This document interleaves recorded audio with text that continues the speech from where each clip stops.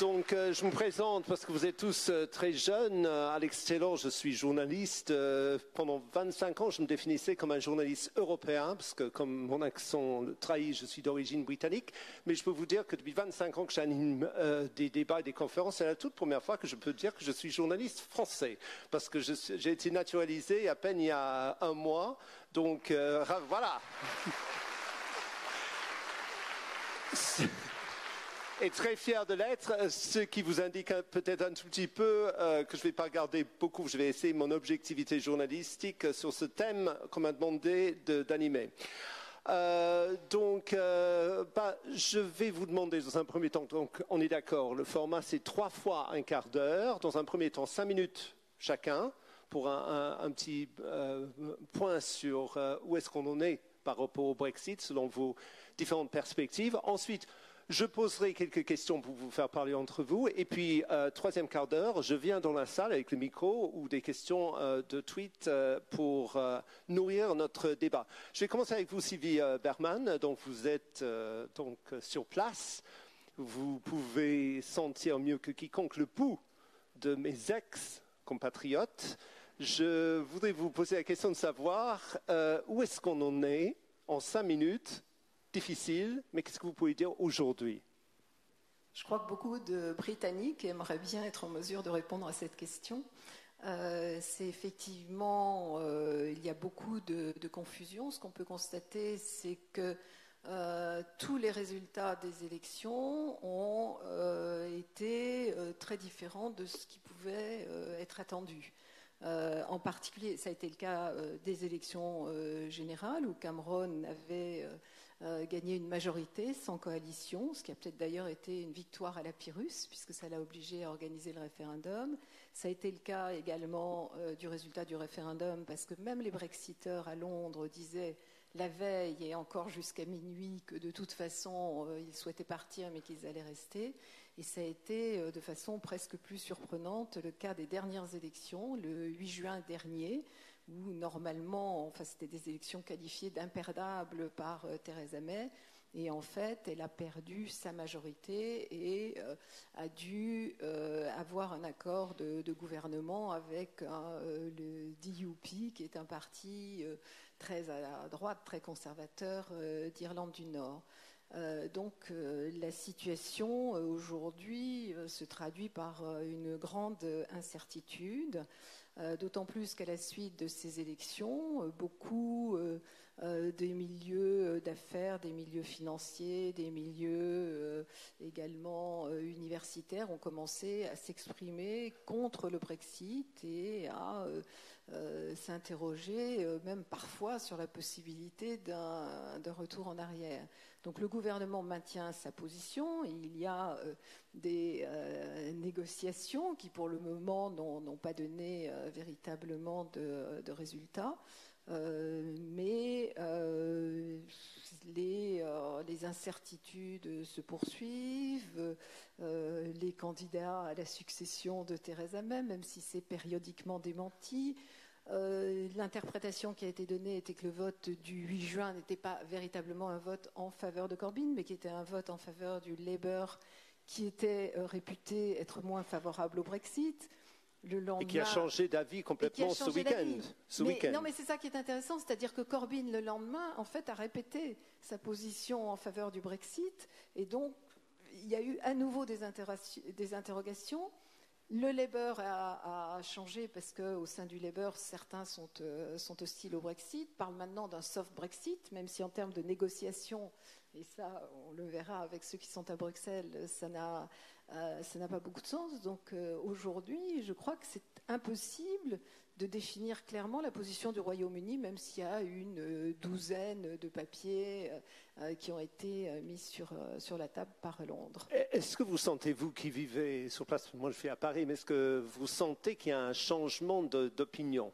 Parce que les choses se passent assez mal pour le moment, surtout cette semaine où tout d'un coup on reprend les négociations et le ton se durcit nettement. Euh, est-ce qu'il y a un changement d'opinion euh, palpable pour le moment en Grande-Bretagne? Et d'ici un an, est-ce que ça peut changer jusqu'au point de, faire revenir sur la décision? Ça, je crois que c'est beaucoup euh, trop tôt pour le dire parce que euh, les deux causes du Brexit, d'une certaine manière, d'ailleurs, c'était pas tellement l'Union européenne, c'est ce, certains euh, idéologues à Londres qui étaient favorables au Brexit au nom de l'indépendance, puisqu'ils ont qualifié ce jour-là d'Independence Day. Euh, ou de la souveraineté, et puis d'autres qui ont voté euh, dans des provinces, dans le Nord par exemple, ils ont voté contre Londres. Et votant contre Londres, ils ont voté contre, euh, contre l'Union européenne. Donc là, je crois que c'est trop tôt. Ce qui se passe, c'est qu'il y a des conséquences économiques qui sont assez négatives, parce qu'il y a un ralentissement de, de l'économie. L'inflation a repris et touche en réalité les classes euh, les moins aisés. Et effectivement, c'est là qu'il peut y avoir une réflexion euh, qui peut aboutir à un certain regret ou un changement de position. Donc ça existe déjà, moi j'en ai rencontré, mais, mais je crois que c'est vraiment trop tôt. Qu'est-ce qu'ils vous disent Ils vous disent quoi On nous a dupé euh, les 350 millions par semaine qu'on nous promettait pour les hôpitaux, et puis maintenant il s'avère que il y a une énorme facture à payer pour, pour quitter l'Union européenne. Ils ont l'impression d'avoir été dupés ou qu'est-ce qu'ils vous disent? Oui, mais pour le moment, enfin en tout cas d'après les sondages, ce n'est pas la majorité. Ça allait davantage à Londres, mais effectivement c'est un terme que j'ai euh, que j'ai entendu. On a été dupés. Pour ceux qui ont voté Brexit, et qui aujourd'hui se posent la question, d'autant plus que plus d'un an après, c'est vrai qu'il n'y a pas d'accord de négociation, c'est vrai que bon, le gouvernement est, euh, fragilisé aussi, et que euh, les ministres prennent des positions qui sont euh, totalement différentes, soit de, la première ministre, soit de leurs collègues. Il y a quand même un certain nombre de rivalités au sein du gouvernement. Il faut rappeler que la première ministre a même carrément changé d'avis. Elle était plutôt pour rester dans l'Union euh, européenne avant le, le, référendum. Juste un dernier mot, parce que c'est très spécifiquement britannique et ça a joué un grand rôle dans le référendum sur le Brexit et dans l'opinion de l'Union européenne de manière générale, la presse britannique, euh, vous, la lisez tous les jours, c'est très particulier quand même. Et quel est le rôle que ça a pu jouer pour vous dans la décision qui a été prise euh, pour le référendum? Alors, ce qui est intéressant, c'est que la presse britannique est certainement plus lue que d'autres presses dans le reste du monde. Ils sont très attachés à, euh, à leurs journaux. Alors, il y a le meilleur avec le FT, The Economist, vous avez des journaux sérieux, le Times, etc. Et puis vous avez les fameux tabloïds qui n'existent pas en France et qui effectivement ont, eu beaucoup d'influence. Puis il y a eu la BBC également qui a été très critiquée parce que certains ont considéré que sous couvert de neutralité, en fait, elle n'avait pas assez euh, contesté les arguments des pro-Brexit ou euh, certains des, euh, on dirait aujourd'hui, contre-vérités, fake news, enfin, ou des mensonges qui ont été préférés comme, proférés comme ces 350 millions de livres. Merci beaucoup. Euh, je me tourne vers vous, euh, Pierre Sellal. Vous êtes euh, ambassadeur de représentation permanente auprès de l'Union européenne. on a des nouvelles ce matin, comme j'ai dit, que mm. tout d'un coup les, deux camps s'opposent plus aussi sur, le, sur, une question de ton et aussi de, de contenu. où est-ce qu'on en est vu de Bruxelles? Vu de Bruxelles, le contraste, c'est entre l'image de confusion que, Sylvie euh, vient de décrire, euh, c'est la situation à Londres, euh, d'hésitation, et à Bruxelles, c'est une image de, clarté, d'unité et d'une certaine sérénité.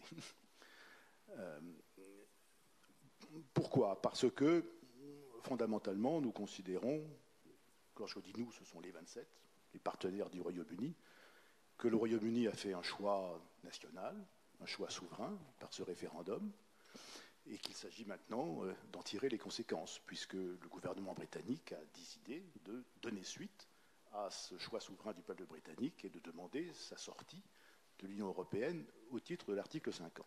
Euh, je joue quand même mon rôle de journaliste euh, parce que je vous, presse un peu, parce que dans la presse britannique, justement, cette semaine, le Télégraphe notamment aujourd'hui, on essaie de, montrer que, en fait, euh, les 27 ne sont pas si euh, unis sur leur position que ça, et qu'il y a des, divergences qui commencent à, se voir, notamment au niveau des Français. C'est la raison pour laquelle j'insiste sur cette réalité de l'unité européenne. Nous avons défini collectivement un, un mandat de négociation pour un négociateur unique. Nous sommes tombés d'accord très rapidement pour considérer que même s'il y avait des intérêts nationaux, qui pouvaient ne pas être toujours les mêmes, parce que un pays qui a une politique active de la pêche, par exemple, a des, intérêts, hein, a des intérêts plus forts qu'un pays qui n'a aucun intérêt dans ce domaine. Et on peut multiplier les exemples. Et néanmoins, très aisément, très facilement, on est tombé d'accord sur un mandat de négociation. On est tombé d'accord pour considérer que la négociation devait être menée par un seul négociateur, en notre nom à tous, c'est euh, euh, Michel Barnier, euh, au nom de la Commission. Et puis, surtout, on a posé quelques principes très simples, à savoir que dès lors que le Royaume-Uni avait choisi de sortir, il ne serait plus État membre. Quand on n'est plus État membre, il y a un certain nombre un certain nombre d'avantages, un certain nombre de bénéfices liés au fait d'être membre de l'Union européenne qui, disparaissent. Euh, ça va de la participation aux décisions européennes, à l'accès au marché intérieur, à l'accès aux programmes européens. Évidemment, il y a des obligations en contrepartie, une contribution au budget, euh, l'acceptation du rôle de la Cour de justice. C'est tout ça qui fait une situation d'État membre. Le Royaume-Uni y renonce il deviendra État tiers. État tiers, ça veut dire quoi? Ça veut dire que vous ne participez plus aux institutions, vous ne participez plus aux décisions, il n'y aura plus de juges britanniques à la Cour de justice, il n'y aura plus de commissaires britanniques, il n'y aura plus de parlementaires britanniques, il n'y aura plus de ministres britanniques au Conseil, et c'est la conséquence logique de ce choix. Ce qui serait contradictoire, et c'est là que vient le fond du problème, c'est que euh, nos amis britanniques souhaiteraient conserver une partie des bénéfices d'un statut d'État membre. Cherry picking. Cherry picking, l'accès au marché intérieur, l'accès à certains programmes. C'est contraire à l'esprit d'un statut je, je, je, vous l'avocat du diable, mais c'est vrai quand même, la Norvège, par exemple, euh, n'est pas dans l'Union européenne, mais quand même dans le marché euh, unique. Oui, mais... Beaucoup de Brexiteurs avaient dit, euh, Daniel Hannan, un des principaux Brexiteurs, avait dit il n'est pas question, de toute façon, personne ne nous, dit qu'on va sortir du marché unique. Et c'était un Brexiteur. Ah, euh, la position britannique, euh, pour autant qu'elle soit consolidée, hein, donc, sous le contrôle de, Sylvie, mais qui a été rappelée par Mme May lors du dernier Conseil européen, c'est de dire nous voulons sortir de l'Union européenne, nous voulons sortir du marché intérieur, nous voulons sortir même de l'union douanière pour pouvoir conclure nos propres accords commerciaux bilatéraux. C'est un choix très différent de celui de la Norvège. Un seul exemple, la Norvège fait partie de l'espace Schengen. C'est quelque chose qui est inconcevable aujourd'hui dans la position britannique. Et donc, la clarté des 27, c'est un principe très simple, à savoir que on ne peut pas être dans une meilleure situation lorsqu'on a quitté l'Union européenne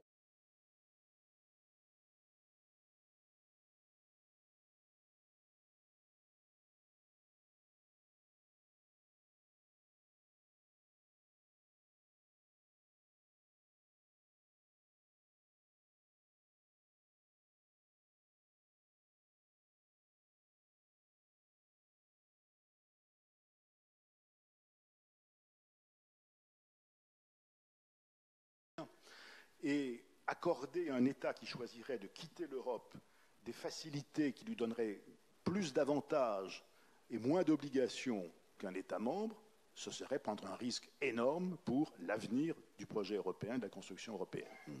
Alors, euh, juste, je, vous pose la question parce que c'est intéressant de savoir, euh, parce que les Britanniques commencent à se rendre compte de, quelques mm. dégâts. Ils sont déjà mm.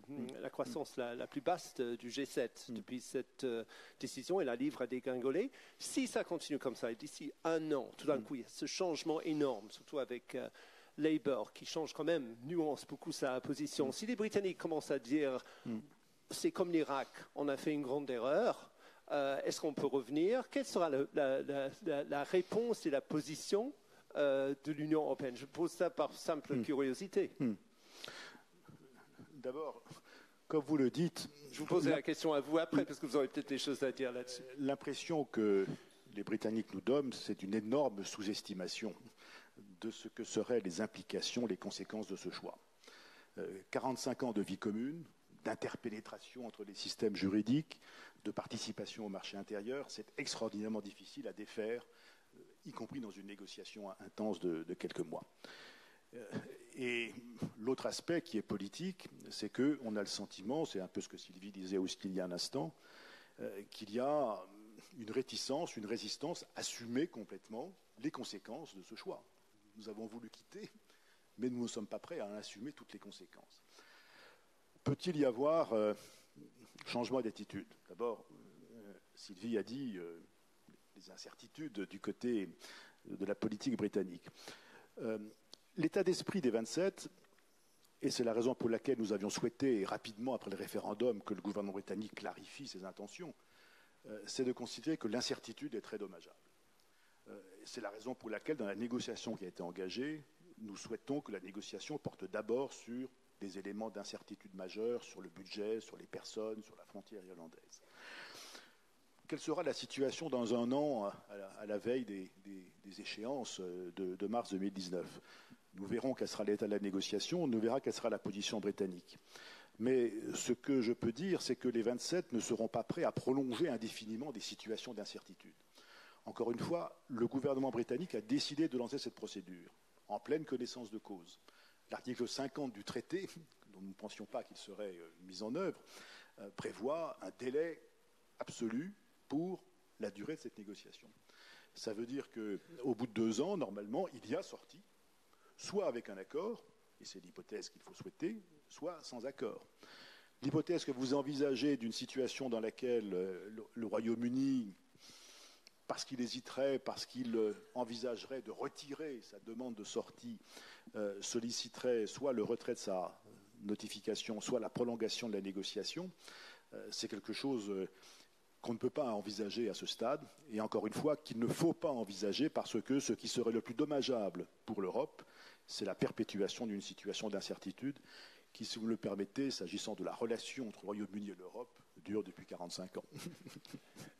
J'ai posé ces questions récemment à un ministre français qui m'a répondu euh, La France, monsieur, n'est pas une dame qu'on répudie de la sorte. Euh, donc, ça vous donne déjà un peu l'état d'esprit si jamais la Grande-Bretagne change d'avis. Euh, Nicolas Meyer-Landrut, vous êtes ambassadeur d'Allemagne en France. Les Britanniques, on lit beaucoup dans la presse, investissent beaucoup d'espoir dans le fait qu'une victoire, si elle est acquise, Angela Merkel va précipiter les choses, même dans un sens euh, positif pour la Grande-Bretagne. Est-ce que vous pouvez vous exprimer là-dessus Est-ce que vous pouvez nous donner le point de vue allemand sur euh, ce, Brexit? Oui, merci d'abord pour, votre invitation, la possibilité de participer à ce débat avec mes collègues français que je connais depuis, depuis longtemps. Et sur ce que Pierre Sellal a expliqué sur les principes, je ne peux qu'y souscrire à 100% je pense que c'est important de comprendre que sur les principes de base, ce que nous comprenons dans cette démarche britannique, le souhait de vouloir sortir et les conséquences qui sont en, tirées, nous sommes entièrement d'accord. Après, il y a des illusions qui naissent en Grande-Bretagne euh, à certains moments par rapport à certaines personnes politiques en Europe et qui après ça euh, se dissipent à nouveau. Donc ça, moi, je ne peux pas commenter. Euh, on aura une élection en Allemagne et tout gouvernement allemand issu de ces élections soutiendra les principes qui ont été euh, arrêtés par euh, le Conseil européen et qui sont la base pour la négociation. Comme, comme Pierre Sella le disait, la Grande-Bretagne a choisi d'être un État tiers. Ça a des conséquences. On ne peut pas vouloir euh, garder euh, ses avantages et se défaire de ses obligations. To have your cake and eat it, cette expression anglaise qui est souvent utilisée par euh, Boris Johnson, avoir pas, le pas, beurre et l'argent du beurre. C'est pas possible parce que ça, si jamais quelqu'un pensait aller dans cette direction, il détruisait l'ensemble de la construction européenne. Parce que pour tous ceux qui ont des avantages ou qui en tirent des bénéfices de cette construction, ils vont de pair avec un jeu d'obligations. Donc il faut, avec une Grande-Bretagne qui quitte l'Union européenne, trouver un nouveau équilibre de devoirs et de bénéfices. Mais cela ne peut pas être le même. Et quand il y aura moins d'obligations, il y aura moins de bénéfices. Ce n'est pas possible autrement. Sinon, l'ensemble de la construction ne marche pas. Et par exemple, je prends le marché commun. Le marché commun tient à la jurisprudence de la Cour. C'est ça ce qui assure le fait qu'il y a égalité d'acteurs économiques et tout dans ce, dans ce marché. Donc on ne peut pas vouloir faire partie du marché et répudier la jurisprudence de la Cour. C'est plus qu'un euh, détail, c'est un, principe fondamental de la construction qui est mis en cause. on, peut, on, peut, faire, on, peut, on peut avoir des échanges commerciaux avec le marché commun, évidemment, beaucoup d'États dans le monde commercent avec nous. Mais ceux qui font partie du marché, ils respectent l'ensemble des règles. Je joue l'avocat du diable avec vous aussi, mais euh, est-ce que euh, vous, n'êtes pas d'accord que c'est plus facile pour l'Allemagne, qui a une structure fédérale avec son histoire aussi, de concevoir qu'il y a des, puissances euh, multinationales qui gèrent ce genre de choses, plutôt que la Grande-Bretagne, qui a toujours eu l'idée d'être souverain sur son, souveraine sur son, île. C'est quelque chose qui, a toujours été beaucoup plus difficile à accepter pour les Britanniques que pour d'autres Européens qui ont des structures bien différentes et des histoires, il faut bien le dire, différentes. Peut-être, mais tel que vous présentez la chose, ça voudrait dire que la Grande-Bretagne n'a jamais accepté euh, son appartenance au système qui a été mis en place dès le début par les communautés européennes. Et aujourd'hui, la souveraineté, et je pense que le président français l'a dit ce matin, des États membres est une, souveraineté partagée sur un certain nombre de choses. Et nous sommes convaincus, pour exercer cette souveraineté dans matière commerciale et autres, aujourd'hui, on ne peut les exercer qu'ensemble. Moi, j'attends encore les grands accords de libre-échange qu'une petite île pourrait euh, conclure avec l'ensemble du monde à son bénéfice. Euh, effectivement. Euh, et, euh, et, donc, je suis d'accord avec vous dans le fond, mais j'essaie de poser quand même des questions. Quel est le sentiment en Allemagne? Parce que je vais l'élargir après à l'Union européenne. ça a été un choc est-ce que, est-ce que le populisme en Allemagne avec Alternative für Deutschland, est-ce que ça a ressenti le coup du Brexit? Et dans quel sens? Comment les Allemands ont perçu le Brexit au moment du référendum et comment ils le perçoivent maintenant Ou est-ce que ça ne les intéresse pas plus que ça? Premièrement, c'était une, grande, déception. Avant d'être une grande déception, c'était euh, quand même un sentiment d'un risque qui était euh, encouru par un gouvernement britannique que euh, certains politiciens allemands n'auraient jamais pris, pour le dire comme ça. Euh, et On voit que vous êtes diplomate. vous comprenez quand même. je comprends très bien. et de, de, l'autre côté, aujourd'hui, ce que je vois dans les sondages et dans les attitudes en Allemagne, ça a plutôt renforcé un sentiment pro-européen, profondément, qu'autre chose. Euh, quand je regarde les, sondages, le, soutien à la construction européenne en Allemagne a augmenté dans, les dernières, dans la dernière année d'une manière significative. Et ça, c'est, je pense qu'on peut le voir à travers, l'Europe. Et les gens se rendent plutôt compte euh, que euh, de choisir cette voie est une folie. Et on voit bien, bon, c'est pas à moi de commenter la campagne électorale française, mais il y a eu des éléments similaires qu'on a pu observer. Est-ce que la solution passe par un renforcement de l'axe franco-allemand ou est-ce que cet axe euh, dans cette nouvelle Europe qui, tient sa force, peut-être après le Brexit, comme vous dites, euh, euh, par une nouvelle unité Est-ce que ça passe par l'axe franco-allemand ou est-ce qu'il y a d'autres voies à regarder Parce qu'on voit en ce moment les, les, entre la Pologne et la France, par exemple. Est-ce que, le reste de l'Europe attend toujours que l'axe franco-allemand donne l'impulsion de l'Europe après Brexit? Bon, Je pense que premièrement, ça passe par une, comme Pierre le disait, par une attitude de calme.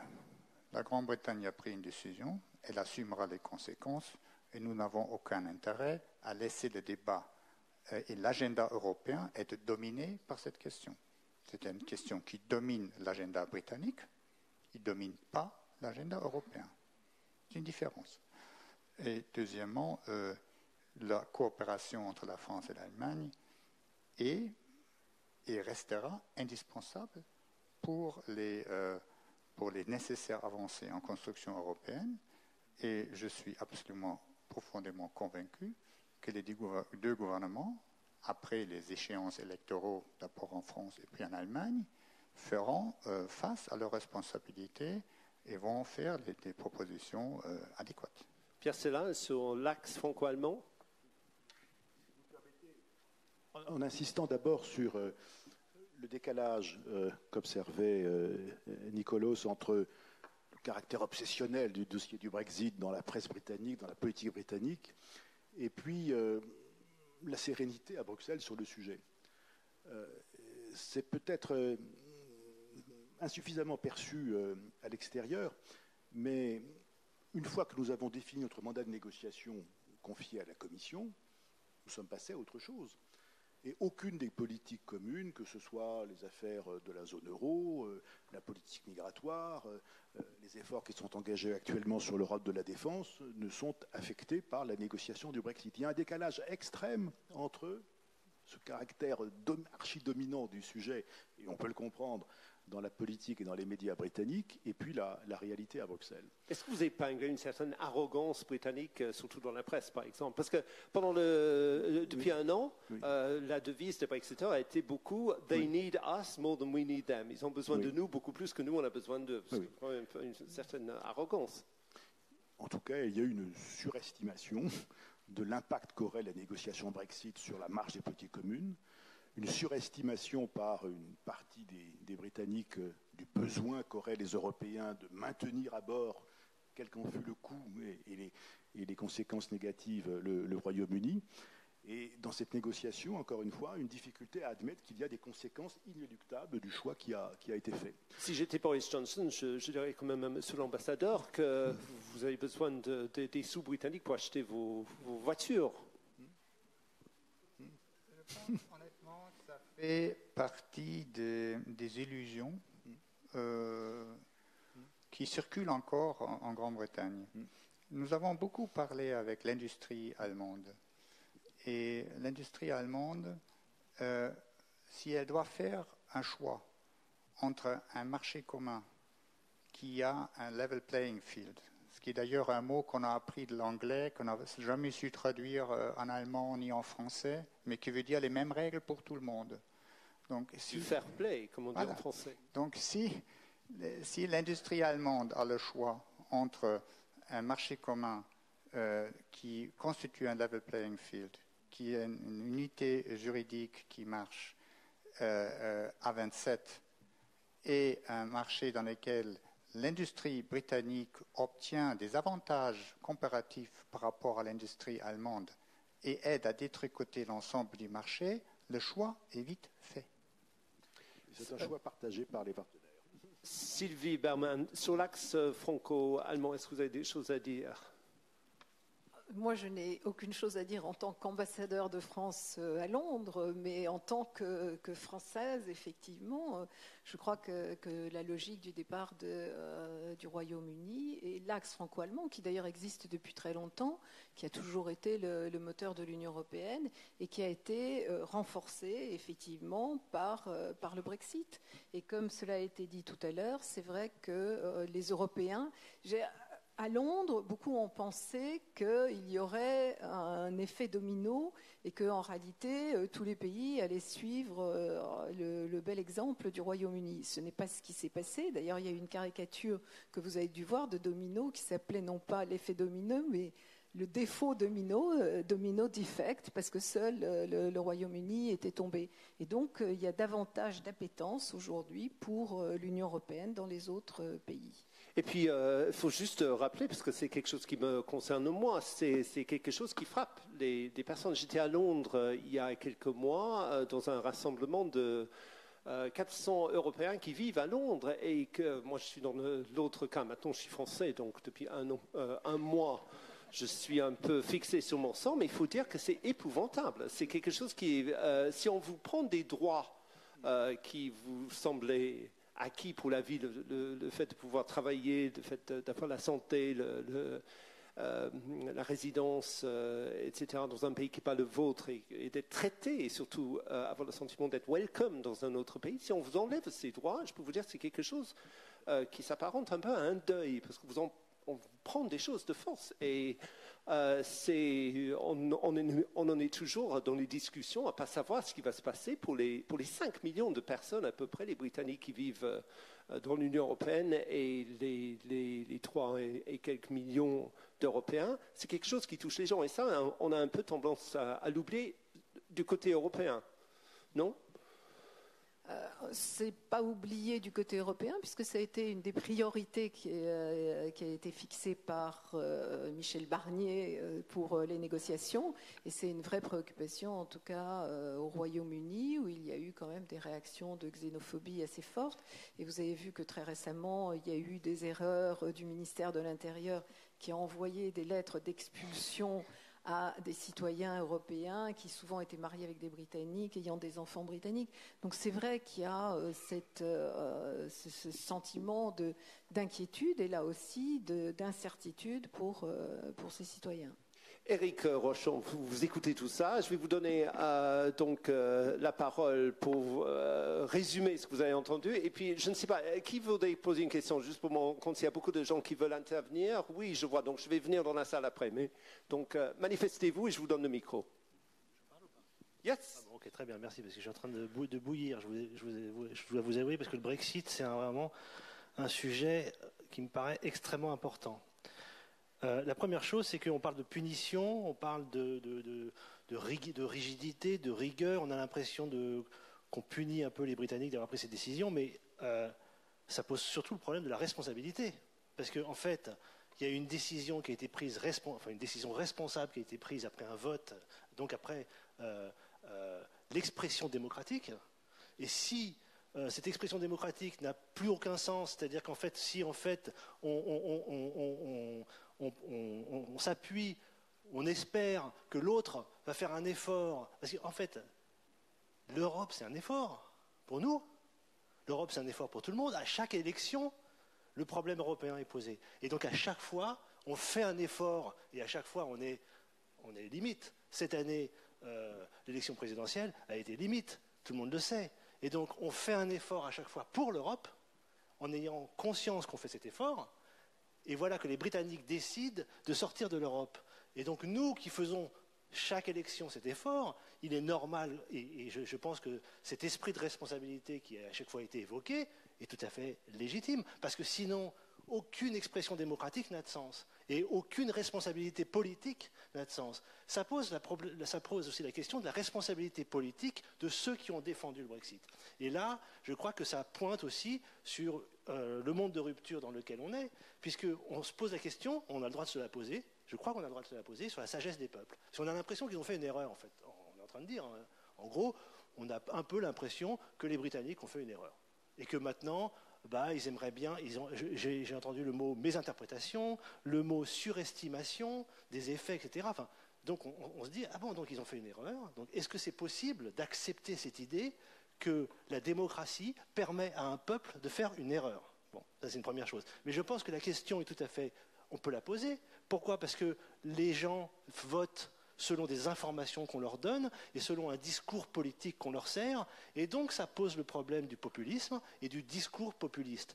Parce que c'est quoi le discours populiste? C'est la simplification. Et donc on a l'impression que les Britanniques, d'une certaine manière, ont été confrontés à un discours populiste qui était un discours de simplification et qu'aujourd'hui, eh ben on, se, heurte, ils se heurtent et nous nous heurtons à la réalité euh, bien plus complexe de, ce qui est, de, ce qui est, de, cela. Je voudrais juste. Euh, ça, m'amène à poser deux questions, même trois questions. Alors, pour le couple franco-allemand, j'ai quelque chose à dire, si vous permettez. C'est que du coup, on se dit bon, ok, donc, donc les Britanniques vont sortir de l'Europe. Très bien. Donc, première question que j'aurais envie de poser, c'est quelles sont les conséquences pour l'Europe? Pas pour les Britanniques. Quelles sont les conséquences pour l'Europe et quelles sont les conséquences pour la France? Parce que nous, ça nous concerne en fait. Ils ont voté, mais nous, ça nous concerne. Première chose. Deuxièmement, on a l'impression que finalement, puisque vous, menez, enfin, il y a des négociations qui sont menées euh, de manière euh, très sereine, vous dites, très bien. Donc on a l'impression que le processus peut aller jusqu'à son terme. Les Britanniques vont sortir de l'Europe. Et que l'Europe va, va survivre à ça. C'est bien l'impression qu'on a. J'ai l'impression que si la France ou l'Allemagne, et que je pense que c'est à peu près les deux seules nations qui sont dans cette, situation, si la France ou l'Allemagne sortent de l'Europe, il n'y a plus d'Europe. L'Europe, j'ai l'impression, ne survivrait pas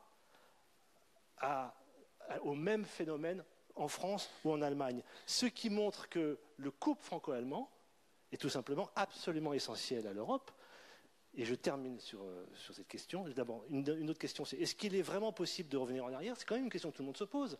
Est-ce que, je ne dis pas la volonté des uns et des autres, je ne dis pas la volonté de l'Europe ou la volonté euh, des Britanniques, je demande est-ce qu'il est possible, techniquement, parce que ça peut arriver, de revenir en arrière? Bon. et, je, et, je, et, je, et, je, voudrais juste terminer euh, sur... Euh, sur trois questions. Non, oui. non, non voilà. Parce que je voudrais vraiment donner la parole à la salle. Hein. Bien, je vous laisse. Non, non, non, non, mais allez, allez, juste une phrase, une phrase.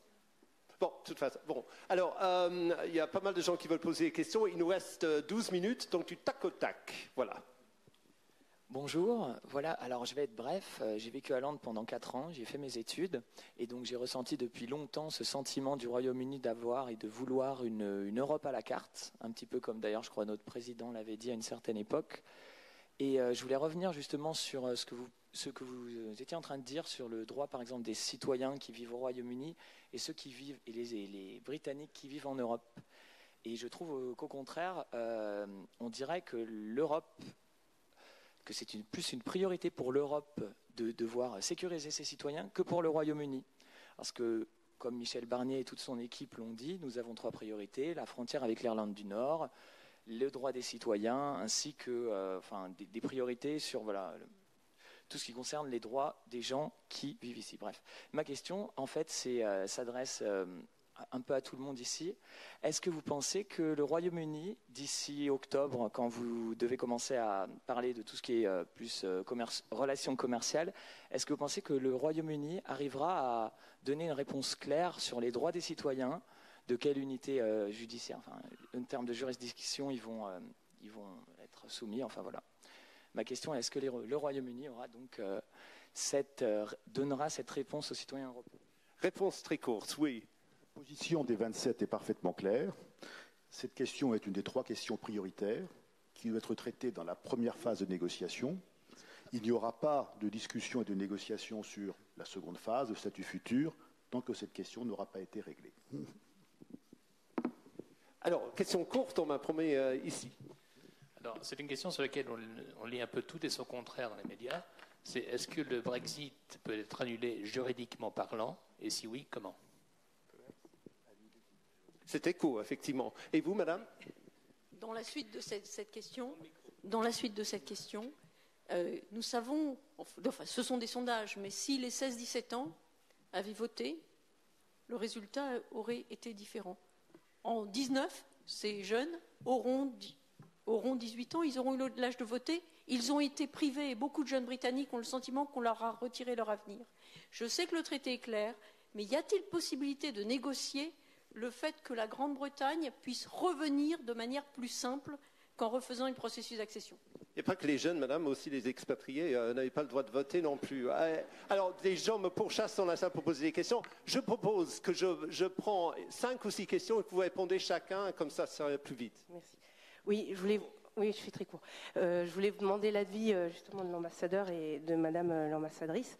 Parce que j'ai eu l'occasion de rencontrer des gens qui étaient les anciens présidents du Parlement, Madame Nicole Fontaine et j'ai oublié le nom, celui qui s'occupe de l'Espagne. Et apparemment, enfin, ceux qui ont voté, d'après les correspondants de Bruxelles, c'est les gens euh, âgés, ruraux, nostalgiques de Thatcher. Et donc, en fait, euh, je voulais savoir votre avis. L'Europe est assez floue dans l'esprit des gens, vu qu'il y a trois lieux euh, géographiques. Et donc, le, problème de l'image de l'Europe. Et également, les négociations seront plus en rapport avec l'économie. Et il existera sûrement des, liens plus économiques, comme une sorte de Commonwealth entre l'Europe et les Britanniques et également euh, dans l'esprit euh, des gens euh, montrer davantage l'Europe parce que l'Europe reste très floue dans l'esprit des gens. Alors, je vais faire comme ça, je balaye toutes les questions et vous aurez la parole une fois chacun après pour répondre à la question que vous souhaitez. Euh, bonjour, très court, je voudrais savoir, euh, les négociations sont prévues pour deux ans, si là ça a l'air d'être assez lent, euh, qu'est-ce qui se passe si, si les deux ans ne sont pas tenus et qu'est-ce qui se passera après, puisque évidemment les, les, États peuvent prolonger ce délai? Est-ce que vous pensez que les États seraient d'accord, etc. Voilà, sur les deux ans de négociation, s'il vous plaît. Je prends trois ou quatre autres questions. Oui, juste pour savoir, donc les, les Britanniques ont choisi, ils sont en dehors. Est-ce qu'on ne peut pas faire des cercles en Europe? Le premier cercle sont ceux qui sont vraiment bien committed to Europe, et après le deuxième cercle et un troisième cercle. Voilà. Monsieur. Oui. Euh Une fois les Britanniques sortis, est-ce que les États, euh, vous êtes les représentants des États, seront prêts à faire euh, des abandons de souveraineté euh, supplémentaires pour avoir plus de supranationalité au sein de l'Union européenne? Est-ce qu'on sera prêt à, sauter ce pas parce qu'on disait souvent que c'était les Britanniques qui ne voulaient pas d'abandon de souveraineté? Une fois qu'ils ne sont pas là, est-ce qu'on va le faire ou pas? Ok, trois, quatre questions en plus, comme ça on saura un peu le pouls de la salle. Madame. Bonjour, je m'appelle Chantalias. J'aurais aimé savoir, s'il vous plaît, pour les BWI, donc British West Indies, euh, ce sont des petites îles qui reçoivent et qui ont reçu beaucoup d'aide de la part de, de par la Grande-Bretagne, de la Commission européenne, et qui se sont développées. Est-ce que ces aides-là vont être coupées ou pas? Je ne pense pas qu'on puisse vous répondre aujourd'hui, mais euh, voilà. Bonjour. Alors, euh, en fait, ma question s'adresse à Madame Sylvie Berman. Euh, la sortie du Royaume-Uni de l'Union européenne n'est-elle pas justement une, bonne occasion pour Paris euh, de devenir le nouveau siège économique euh, de l'Union européenne? Et voilà, donc une dernière question. Ma question va dans son sens en fait. Y aura-t-il donc selon vous y a-t-il des avantages au Brexit pour la France, l'Allemagne, les autres États membres? Et si oui, lesquels? Je prends une dernière question brûlante et puis vous avez deux minutes chacun pour répondre à la question de votre choix. Mais comme ça, au moins, c'est important de savoir euh, vos interrogations. Merci beaucoup. Euh, d'abord un commentaire. Oui, effectivement, pour moi, le Brexit a recentré les liens et le sentiment d'Européens que nous sommes. Deuxième chose, c'est le ministre Le Drian l'a bien dit en introduction, nous sommes le troisième réseau diplomatique au monde. Devant nous, je vous laisse deviner qui. Euh, quelles sont les, mesures de l'Union européenne pour justement contrecarrer un réseau diplomatique anglais qui va, euh, on en a parlé tout à l'heure, en termes économiques, euh, surpasser euh, peut-être l'Union européenne? Voilà, donc c'est parfait. Vous avez deux minutes chacun pour répondre à tout ça. Vous prenez la question de votre choix, mais c'est important de savoir les interrogations des gens dans la salle. justement, je vais peut-être commencer par la dernière question. C'est-à-dire que euh, le, réseau euh, économique britannique, les, Britanniques actuellement parlent de ce qu'ils appellent Global Britain, en disant que maintenant qu'ils sont libérés, ils allaient faire beaucoup mieux. Euh, en réalité, et j'étais en poste en Chine avant, et c'est pareil dans le reste du monde, les Britanniques font quatre fois moins bien que les Allemands. Donc rien ne les empêchait d'être plus performants en matière euh, de commerce et je ne vois pas ce qui fera qu'ils seront plus euh, performants aujourd'hui. D'autre part, des pays du Commonwealth comme euh, l'Australie regardent plutôt la Chine, puis de toute façon c'est moins de 1% du commerce extérieur des échanges commerciaux du, du Royaume-Uni. Donc je ne pense pas qu'il y ait de véritable concurrence parce que d'un côté il y a quand même 450 millions d'habitants ou plus avec euh, des économies qui sont euh, performantes. Euh, la, question qui avait été posée sur la possibilité de, retour en arrière. En fait, je ne crois pas que le terme qui, doit être employé est celui de retour en arrière. Ce qui est possible, et ce qui est possible juridiquement, en tout cas au Royaume-Uni, c'est une fois qu'il y a un accord avec l'Union européenne, et accord qui ne peut pas être bon, parce que simplement, le meilleur, ils l'ont déjà. C'était le meilleur de deux mondes, c'est-à-dire avec un certain nombre d'opting out, de non-participation à certains programmes, d'autres euh, participations, selon ce qui les arrangeait. Donc l'accord ne peut pas être bon pour ces raisons-là. Et donc ce qui a été euh, décidé par la Cour suprême, c'est que cet accord serait euh, soumis au Parlement britannique. Et à ce moment-là, il appartiendra au, Parlement soit bah, de, l'accepter, de le ratifier, je n'en sais rien, euh, soit de dire, écoutez, cet accord n'est pas satisfaisant, mais puisque le peuple l'a voulu, on peut interroger euh, le, peuple sur l'accord. Ce n'est pas un deuxième référendum pour annuler le premier référendum, mais c'est de se prononcer sur le résultat d'une négociation. Quant aux jeunes, ils vont manifester euh, d'ici quelques jours euh, à Londres euh, leur amour pour l'Union européenne. Pierre Célan. Oui, ne spéculons pas sur cette question hypothétique d'un retrait ou d'un changement de situation. Le traité est clair. Une fois que la procédure est engagée, elle dure deux ans. Au bout de deux ans, il y a sortie, soit avec accord, et c'est évidemment la situation préférable, soit sans accord il n'y a pas de gouvernement britannique aujourd'hui pour demander une quelconque modification de la notification qui a été faite. La deuxième question, c'est notre réaction collective. Je distingue deux attitudes à avoir. Une attitude défensive, préserver les intérêts de l'Union, préserver notamment le level playing field évoqué par Nicolas tout à l'heure, préserver l'intégrité du fonctionnement européen. Et puis, il y a une dimension positive ou offensive, parce que même s'il y a beaucoup d'éléments très spécifiques dans ce qui s'est passé au Royaume-Uni, euh, nous savons bien qu'il y a des insatisfactions, euh, des attentes vis-à-vis de l'Europe qui ne sont pas aujourd'hui euh, remplies et satisfaites, et il faut agir dans un grand nombre de domaines. C'est ce que le président de la République appelle de ses voeux en invitant l'Europe à être capable de protéger les citoyens européens dans tous les domaines.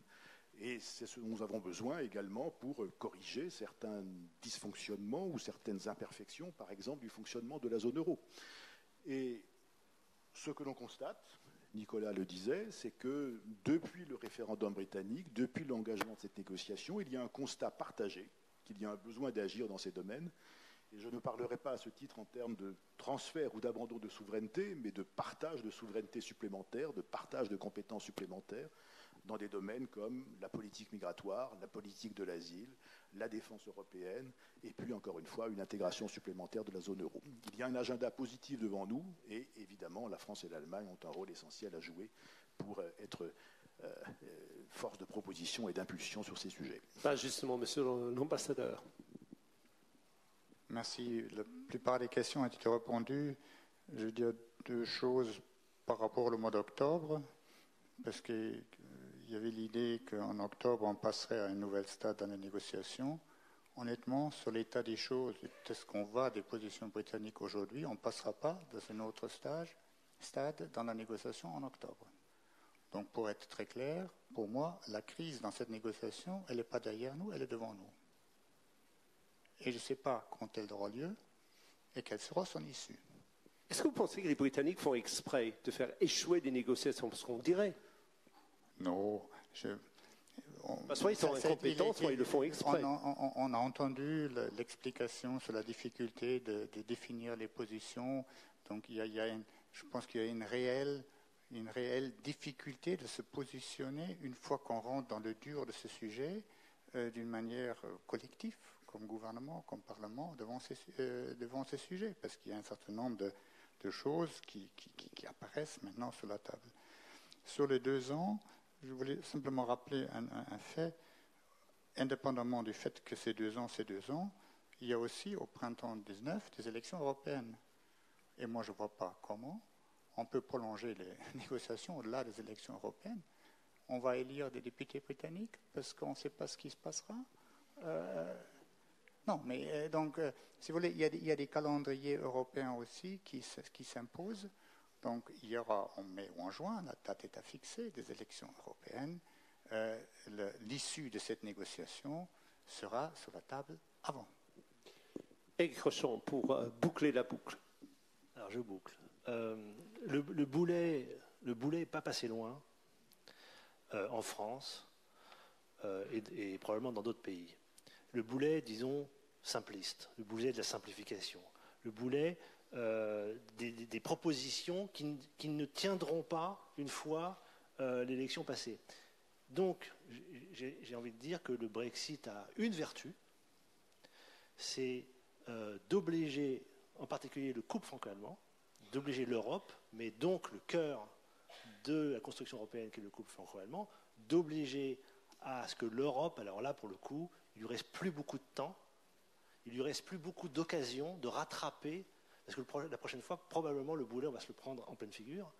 Et donc, le Brexit, euh, je crois, oblige l'Europe à se repenser et à, répondre à, répondre obligatoirement aux interrogations que nous, nous avons. Encore une fois, c'est un effort que nous faisons pour l'Europe. Cet effort, les Britanniques ont décidé de ne plus le faire. Nous avons décidé une dernière fois, peut-être une avant-dernière fois, j'espère, mais en tout cas peut-être une dernière fois, de le faire. Et à ce moment-là, il faut que cet effort soit récompensé.